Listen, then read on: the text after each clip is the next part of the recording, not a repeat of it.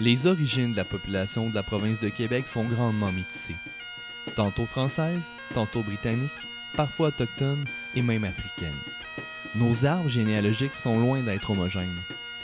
Nous nous sommes rendus à Gros-Île au large de Montmagny, près de Québec, pour rencontrer Philippe Gauthier de Parc Canada pour découvrir le sort de nos ancêtres irlandais qui faisaient la traversée de l'Atlantique. Gros-Île va être ouvert en 1832. Donc, il y a comme ça assez longtemps.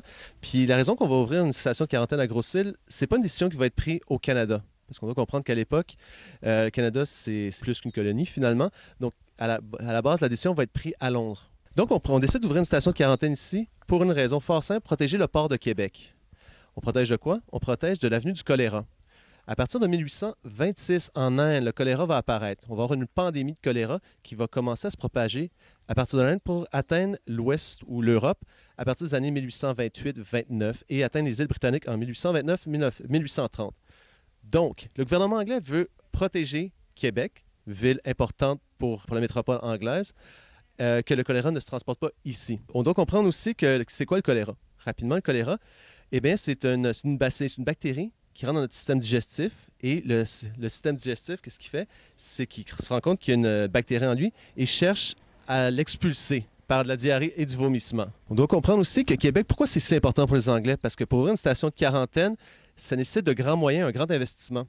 Pourquoi Québec est si important pour les Anglais? Bien, il y a plusieurs raisons. À la base, Québec, c'est en 1832 la porte d'entrée de l'Empire euh, des Amériques britanniques.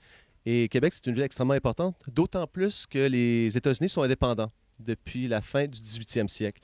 Donc Québec, c'est un peu le château fort des Anglais en Amérique. Québec, c'est aussi une ville fortifiée. Donc énormément de troupes sont stationnées dans la ville de Québec. Et bien sûr, le gouvernement britannique ne veut pas que ces troupes ben, tombent malades.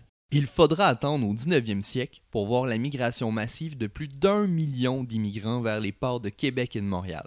De ce nombre, 60% provenaient d'Irlande. Troisièmement, Québec, c'est aussi une ville extrêmement importante au point de vue économique. L'Angleterre, depuis le début des années 1800, a un commerce euh, florissant avec le Québec au point de vue du, euh, bois, du bois d'œuvre. Les Anglais viennent chercher leur bois d'œuvre à Québec pour le ramener en Angleterre. À quoi il sert ce bois d'œuvre-là? Mais il sert notamment à bâtir des navires, ce qui est la base de la puissance anglaise, puisque les Anglais, la base de leur puissance, c'est le contrôle des, des, des mers et donc, de facto, ils ont le plus grand empire colonial. Donc, ils ont besoin de bois. Par contre, on peut se poser la question, pourquoi aller chercher son bois au Canada?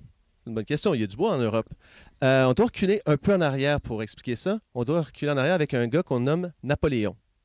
Napoléon Bonaparte, empereur français, décide à partir de 1806 de faire ce qu'on appelle un blocus. Ce faisant, il va entourer les îles britanniques, il va empêcher le commerce entre l'Angleterre et l'Europe. Et de facto, il veut étrangler économiquement l'Angleterre. Ce faisant, il croit que ça va lui permettre de faire diminuer la puissance anglaise. Les Anglais, ne pouvant plus se faire leur approvisionnement en Europe du Nord, notamment du bois, vont se tourner vers le Canada. Les besoins en bois accélèrent le développement de certaines régions, notamment les. Les cageux, bûcherons, rafman et employés de scierie qui participent aux activités coloniales font naître l'agroforesterie. Les Irlandais en recherche d'emploi qui débarquaient pour travailler dans les chantiers se voyaient confrontés au tempérament austère des Canadiens français, comme en fait foi la légende de Joe Montferrand. De plus en plus, il manque, des terres dans les îles britanniques. Et la plupart des gens, leur vœu le plus cher dans la vie, c'était de faire de l'agriculture. Mais on voit de bon oeil que ces gens-là, les gens qui n'ont plus de terre ou encore pas d'emploi, qui viennent au Canada pour aller peupler le Canada. Ce faisant, ça fait le poids nécessaire dans les bateaux, parce que ces bateaux ont besoin de certains poids pour faire la traversée. Et de facto, le bois, par la suite, revient de l'autre côté. Donc, c'est un commerce qui va des deux côtés. D'autant plus que les gens vont payer un ticket pour faire la traversée. C'est d'autant plus rentable pour les, euh, les armateurs de bateaux. Les bateaux, à la base, sont construits pour le transport de marchandises et non pas d'humains. Aussi, c'est des bateaux à voile et la durée moyenne d'une traversée est d'environ 45 jours. Alors, on peut imaginer une traversée de 45 jours pour 99% des gens à cale de bateau. Rapidement, on manque d'eau potable, on manque de nourriture, euh, l'hygiène est inexistante. Bien sûr, il n'y a pas de toilette. On peut imaginer que quand les immigrants arrivent de l'Angleterre ou de l'Irlande devant le Gros-Île, eh bien, les gens sont en bien piteux état. Leur état est encore pire que quand ils sont partis au départ. Aussi, on doit comprendre qu'il y a une très grande proximité avec les gens, ce qui fait que la propagation de maladies se fait très rapidement entre les gens. On a une station de quarantaine afin d'accueillir ces gens-là et afin que ces gens-là n'arrivent pas à Québec avec des maladies. Donc, on doit comprendre que quand on ouvre la station de quarantaine en 1832 ici, les autorités qui ouvrent le secteur ouest, parce que seulement le secteur ouest est ouvert, ne sont pas prêts à affronter une maladie comme le choléra. On cherche à combattre le choléra, par exemple, en tirant de la poudre à canon dans le ciel pour chasser les miasmes. Pendant ce temps-là, les gens qui sont tous réunis, malades et non malades, dans des tentes ou des bâtiments de bois, transmettent leur maladie à des gens qui étaient en bonne santé. Bilan, entre 1832 et 1834, on va voir des milliers de gens qui vont mourir à Québec du choléra, tout simplement parce qu'une chose, on ne comprend pas le principe même de la contagion. Et aussi, deuxièmement, parce qu'on ne sépare pas les malades des non-malades. De 1832 à 1937, c'est plus de 4 millions d'immigrants qui allaient franchir le port de Québec. De ce nombre, approximativement 32 000 allaient être hospitalisés sur Gros-Île. Avec le temps, les progrès en médecine stabiliseront la condition des nouveaux arrivants.